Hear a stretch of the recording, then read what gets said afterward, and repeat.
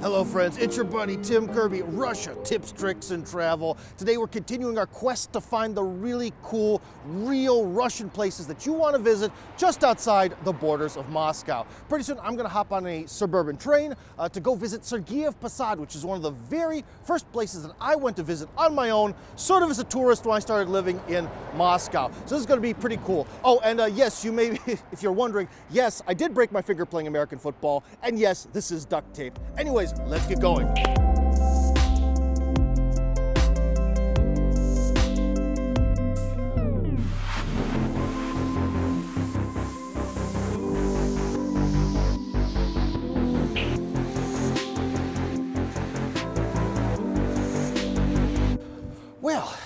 was pretty quick, to be honest. And uh, you know, it's just a 10 minute walk to this point, sort of central viewing point of the city called Blinnaya Gora, or Pancake Hill, as it would be in English. But sadly, there are no pancakes to be found. But anyways, behind me is one of a rare thing in the former Soviet Union, a lavra. Now what's a lavra? If you start putting, sticking churches sort of next to each other, they reach a critical mass and become a lavra. But anyways, terminology aside, basically, at this point, this is the biggest, baddest monastery in all of Russia, and that's what you need to know. So if you're gonna go see a, a monastery, why not go see the big one, right? All right, so then, uh, yeah, let's go. Guys, within these walls, there's over 700 years of history that's continuing on into the future. And there's 50 structures, 10 of which are churches. So there's a lot to see. So let's enjoy the holiday atmosphere and take a little stroll.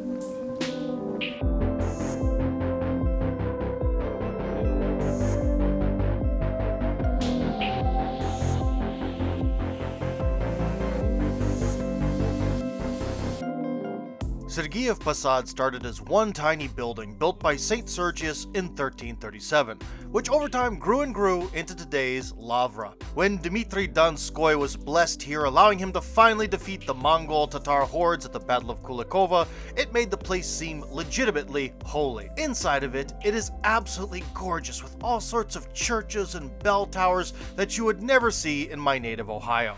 There is so much to see, you could spend a whole day here and still miss some cool fresco or chapel, and most importantly, they have traditional Russian food and drinks for sale inside. You can feed your body and soul in one location.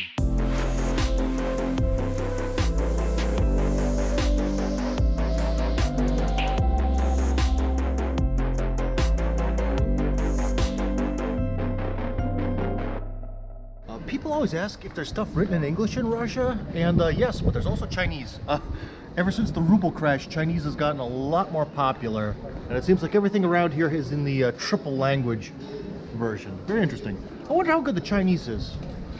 The English is pretty darn accurate. Well, as I may have mentioned, we're in Sergiev Posad. Well, what's the Sergiev stuff? It is in honor of Sergius of Radonezh, who we've actually mentioned in the previous video, and the uh, churches and monasteries that he's founded have been in like the last three or four videos. So I nominate him as official patron saint of Russia Tips, Tricks, and Travel. What do you think about that? I think it's a good idea.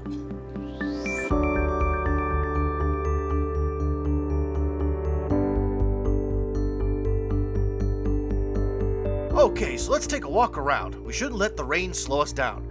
Heck, if bad weather stops you from doing things in Russia, then, um, you're really never going to do anything here. Anyways, right behind the big Lavra, there is a lovely walking street where you can get a snack and check out a museum.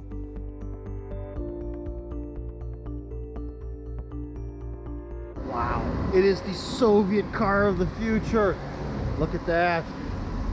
It's almost like a semi-station wagon. It's kind of a station wagon, but not really. That's neat. And I like the, the interesting rear view mirror position. Very cool. Okay, so this is Karl Marx Street. That back there is the Lavra, and on Karl Marx Street there's a ton of restaurants, but it's way too early for dinner. But I gotta get out of the rain, so let's check out this museum, because I heard they have a neat store where they sell tons of candy. Oh boy, sweets.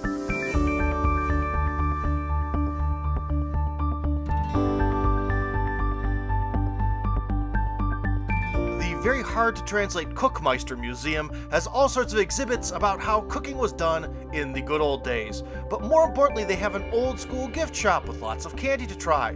This is a great option as a gift to take back home with you. The homemade candy travels well, and my kids sure loved it.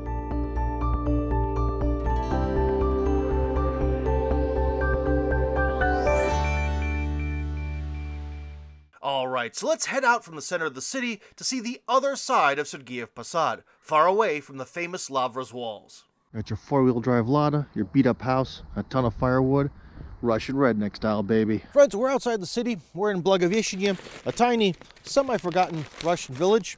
And uh, before I forget about it, let's try out these candies. Hmm, that's good. Ooh, pineapple flavor, pineapple in Russia, oh boy. Uh, but anyways, guys, this village is very cool. And look at that church. So we, we showed you more uh, sort of like modern, even though they're ancient, well-painted, organized churches at the Lavra, but this is the sort of more northern Russian wooden church you've seen around. And this village is really cool because there's like completely abandoned buildings next to brand new buildings. So uh, I love that contrast of uh, Russian villages that they have.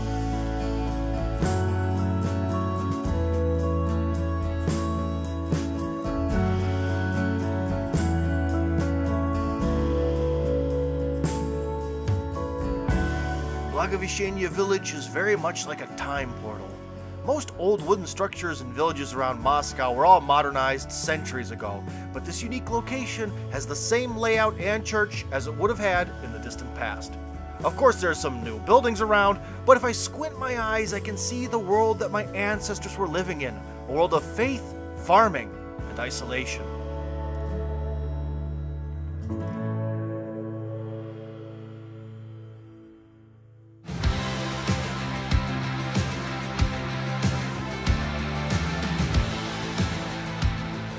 Sergiev Posad is pretty darn old and pretty darn churchy, if that is even a word. In fact, it's the most church-filled place that you are going to find on a cheap train from Moscow. There is tons of history here, and you should really come for sure. Yeah, guys, Russia is definitely a land of contrast. So here we have Lenin, we have Land Rover, and over there we have Lavra.